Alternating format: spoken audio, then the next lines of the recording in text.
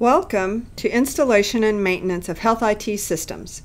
This is Unit 2, System Selection, Software, and Certification.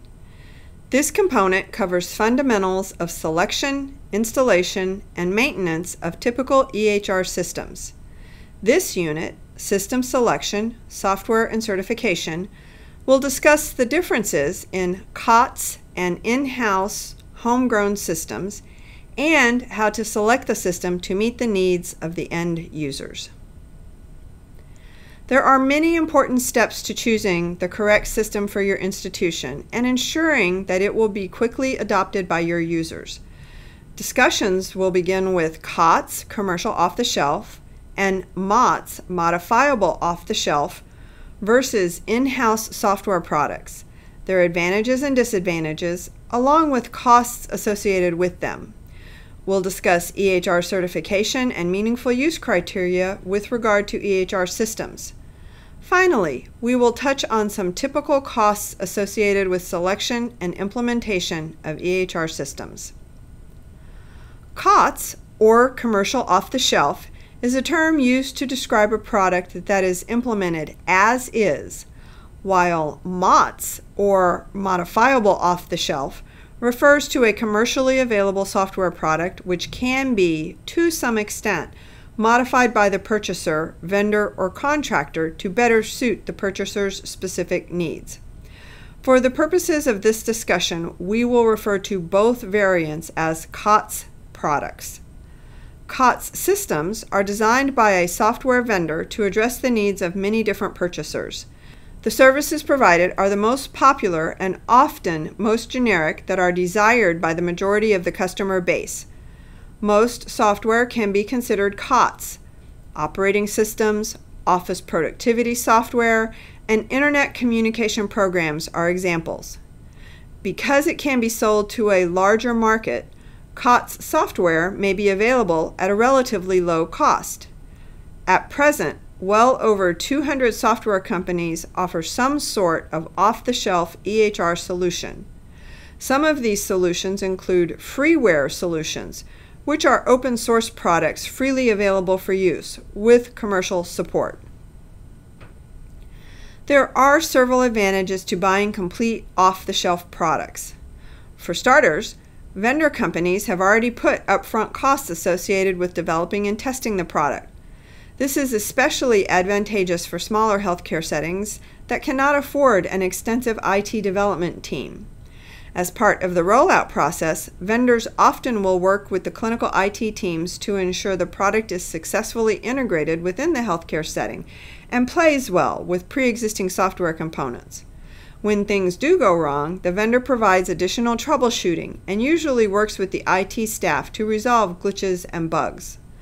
The COTS products also generally have previously developed training documentation. This can mean that difficulties in learning the new system have been addressed in previous installations at other institutions. Because the vendor generally has already created training programs and materials to help ensure a successful adoption of the product into the workplace, users and administrators can often be brought up to speed faster than with an in house product. Because many EHR systems are proprietary, access to the source code is often limited or non existent. This reduces the flexibility of the program and makes the institution dependent on the vendor to make enhancements to the system, which is often costly. Compatibility is also a concern, as EHR vendors must contend with an ever increasing variety of hardware and software combinations add in the staggering number of drivers, peripherals, testing devices, and so on, and it becomes obvious that there is no way the vendor can test compatibility for all possible combinations. The issue is compounded with every new upgrade, which holds the potential to break something that was working perfectly in the earlier version. If a COTS product is in your institution's future, you will need a plan that adequately addresses which users will receive upgrades and when, as well as contingency plans for use in the event that the upgrade is not successful. Be sure that an adequate test environment exists in your institution and that upgrades are thoroughly tested before deployment. Each vendor is different with regard to frequency of upgrades. Reputable vendors theoretically are motivated to maintain a high level of product quality. However, this is not a guarantee. Keep open lines of communication with your vendor and stay abreast of product issues and pending upgrades. Never assume the vendor will meet upgrade release dates and never assume a certain level of quality until you have tested the product in your own institution's environments. Another disadvantage to purchasing a COTS product is the inability to find a product that fits your institution just perfectly, often requiring workflow changes on an institutional level for successful adoption of the product. Some institutions decide to build their own in house EHR solution. In house software is developed by the operating institution and installed and managed by an existing IT team. This kind of development is only undertaken by larger organizations with their own IT departments. Development of an EHR system will often start through extension of existing in house systems. Alternatively, the institution may elect to use an open source or otherwise modifiable system and, depending on the software license, adapt it solely for its own use, or participate in further public development by contributing changes back to the source. More often than not, the decision to build an EHR in house is driven by the desire to make a product that can fully integrate with existing software and or closely match institutional processes and objectives. The existing IT infrastructure and personnel will guide development of the system to ensure maximum compatibility with existing processes. There are several obstacles to creating your own in house EHR solution. First of all, you need to have the right team in place. If you decide to build an in house solution, you will be spending a lot of time, money, and energy in recruiting and retaining quality IT developers capable of implementing such a large scale project. Not many people take into consideration the costs involved in recruiting and hiring the right software development team, along with the associated hardware and software needed to develop, compile, and test coding components. You should expect to expend years of effort and dedicated resources toward the development and implementation process of an in house EHR solution. Secondly, you should have a person capable of monitoring and assessing the quality of the work, the output, and the productivity of the team hired this consultant or project manager represents another added expense. Likewise, your IT team will need to stand on its own when testing, troubleshooting, debugging, or adding enhancements to the EHR system throughout the product's entire life cycle. This takes lots of time and resources. Products developed by vendors have the advantage of multiple clients providing feedback and bug reporting. Lastly, before the product can be successfully rolled out to your users, planning programs and materials must be created, generally from scratch. Given these obstacles, it's not surprising that many healthcare institutions, especially those that are not large institutions with adequate resources, choose to go with a COTS or MOTS software solution.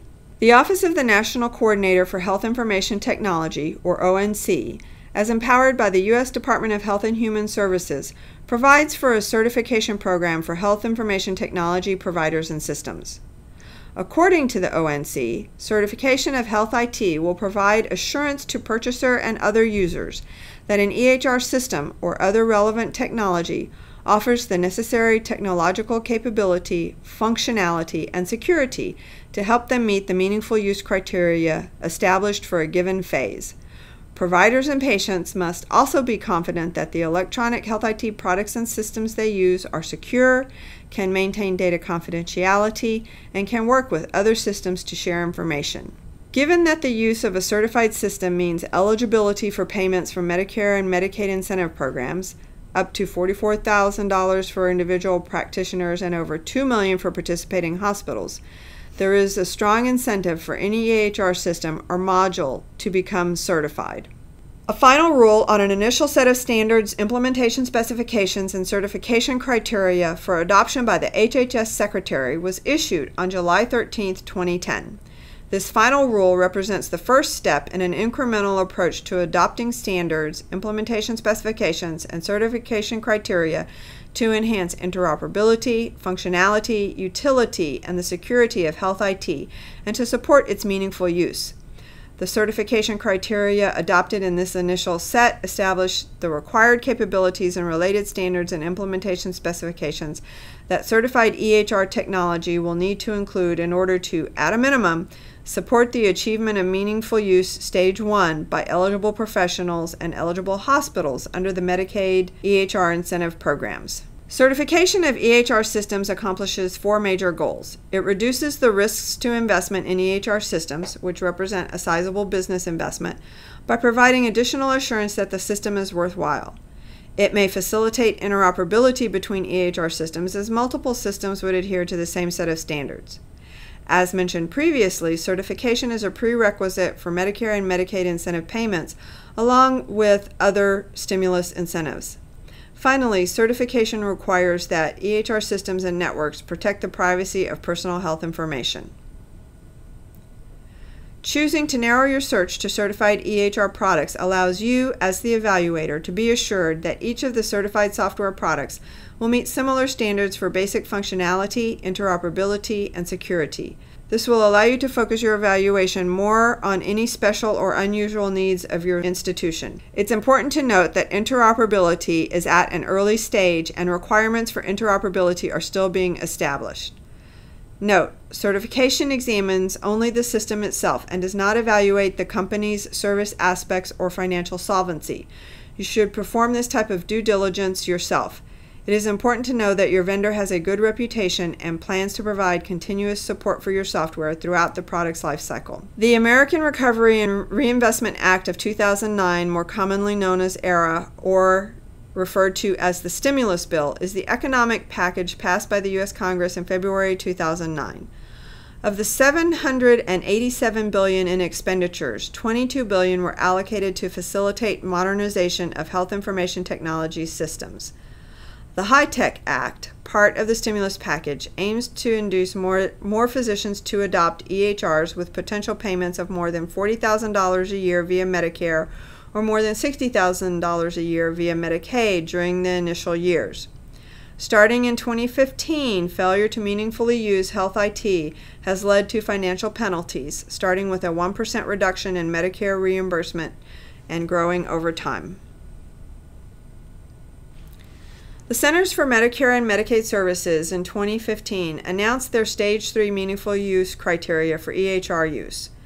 The objectives for hospitals and providers are to protect patient health information, provide clinical decision support, utilize computerized provider order entry or CPOE, and electronic prescribing.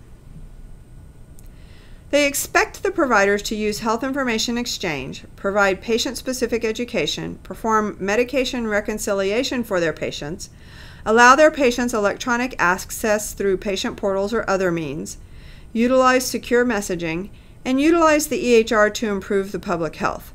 We will look at each of these a little bit more in depth.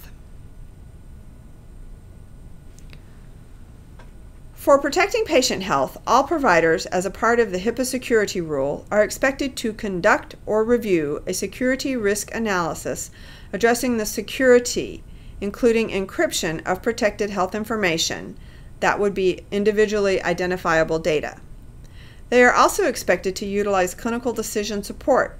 They can either implement five clinical decision support interventions for four more quality measures They are also expected to utilize clinical decision support. They can either implement five clinical decision support interventions. They can either implement five clinical decision support interventions for four or more quality measures, and they have to enable implement and they have to enable and implement drug-drug and drug allergy intervention checks for the entire reporting period. For computerized provider order entry, or CPOE, there are three measures, and that is that 60% of their medical orders have to be utilizing CPOE, 30% of lab orders and 30% of radiology orders also have to utilize CPOE. So the expectation is that providers will be using CPOE to place their orders. For electronic prescribing, more than 50% of permissible prescriptions need to be queried for drug formulary and transmitted using Certified Electronic Health Record Technology, or CEHRT. For health information exchange, it is required that the provider uses the Certified Electronic Health Record Technology to create a summary of care and electronically transmit the summary for more than 10% of the transitions. These transitions could be to specialists or could be from a specialist to a primary care provider or from a hospital to a nursing home or just different providers or settings of care. So, whenever you would have a transition or referral, the expectation would be that you would electronically transmit that data more than 10% of the time. With patient specific education, the knowledge base within the Certified Electronic Health Record technology should provide information, and that needs to be provided to 10% of unique patients who have office visits. Medication reconciliation needs to be performed for more than 50% of transitions in care, and patient electronic access and for patient electronic access, greater than 50% of all unique patients must be provided timely access to view, download, and transmit their data. At least one patient needs to view, download, and at least one patient needs to view, download, or transmit their data to a third party. Secure messaging has three different levels. In 2015, there needed to be the capacity for patients to send and receive. In 2016, secure messages need to be sent to the patient using electronic messaging function or in response to a secure message for at least one patient. In 2017, the secure messaging functionality for 2016 needs to be used for more than 5% of unique patients. For the first measure of public health, eligible providers are expected to be in active engagement with a public health agency to submit immunization data. And the active engagement relates to the ability to and the active engagement relates to the ability of the public health agency to accept it or not. Not all public health agencies have that capability yet. Measure 2 is the same for syndromic surveillance reporting. For Measure 3, the specialized registry reporting, the provider needs to be submitting data to a specialized registry, and that specialized registry would depend on the type of provider, primary care versus specialty. Finally, we look at the meaningful use and the next stages, and meaningful use will evolve beginning in 2019. Providers will be reimbursed under the Merit Based Incentive Payment System, or MIPS, and this will roll together the PQRS and meaningful use. It will also include other activities. So there would be the quality measures. There are measures also related to resource use. Practices would have to undertake improvement activities as well as meaningfully use certified electronic health record technology for a MIPS composite performance score that ranges from 0 to 100. This would determine whether or not their payments are adjusted positively or negatively. Startup costs include new hardware and network components, including servers, switches, cabling, racks, software components including purchasing software components including purchasing and licensing the EHR product along with any customization and support contracts and interfaces including laptops, workstations, PDAs, and so on. Bear in mind that licensing options vary and different licensing options may be available for each product. As an example, a single user license or tiered pricing, where the fees are different depending on the level of access the user has to the system, may be quite viable for a small practice. On the other hand, site licensing, a single fee covering all potential employees for an entity, may be a more viable option for larger entities, but far too costly for the smaller practice settings. Maintenance costs include all costs associated with the continued upkeep, maintenance, and upgrades to the system. This would include routine hardware replacements, software support fees, licensing renewals, and major upgrades. Training costs include fees incurred by the vendor to train new system users and admin. Training costs include fees incurred by the vendor to train new system users and administration during startup, as well as training materials, simulators, etc. throughout the life cycle of the product. What are the anticipated productivity costs associated with the implementation of this product? Are the users going to have to make significant changes in workflow resulting in substantial loss in productivity? Lastly, what consults Lastly, what consultants will you need to bring in to implement the installation? Wireless and network upgrades may require consultation to ensure optimal results. Will you be bringing in an implementation specialist at $125 an hour? Be sure to consider these costs when selecting an EHR system. This concludes Unit 2 System Selection, Software, and Certification. In summary, when choosing a system, be aware of broad categories of systems available for selection. Weigh the advantages and disadvantages of them, paying special attention to the required resources for development and maintenance. Certification of systems should be strongly considered. Finally, any system that is considered and implemented should address the meaningful use priorities.